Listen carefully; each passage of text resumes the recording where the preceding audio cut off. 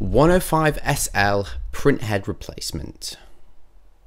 Ensure printer is off and the AC power and data cables are disconnected. Open the printer lid. Open printhead assembly by rotating the printhead lever.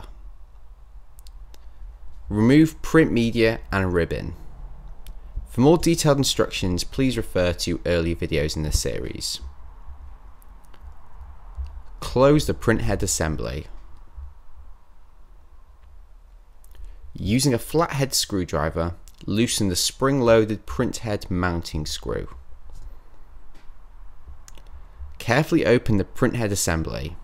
The printhead should now be resting on the platen while the assembly pivots back.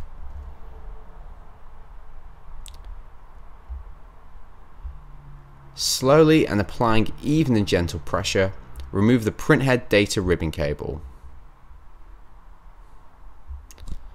Taking the same amount of care, remove the printhead power cable.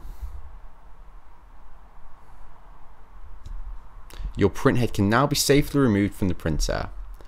To begin installing the replacement printhead, attach the printhead power cable. Connect the printhead data ribbon cable in a similar fashion ensuring to apply even pressure to avoid bending the connector pins.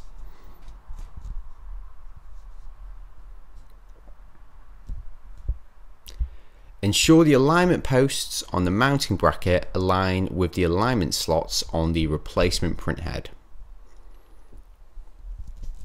Once correct alignment has been ensured, continue to hold the replacement printhead while tightening the mounting screws on the top of the bracket.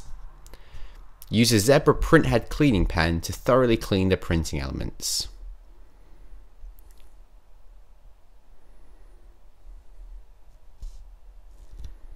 Reinstall media and ribbon.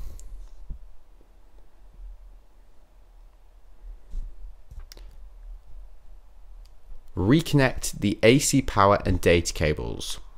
Turn the printer on and it should perform an auto calibration and power on self Thank you for watching.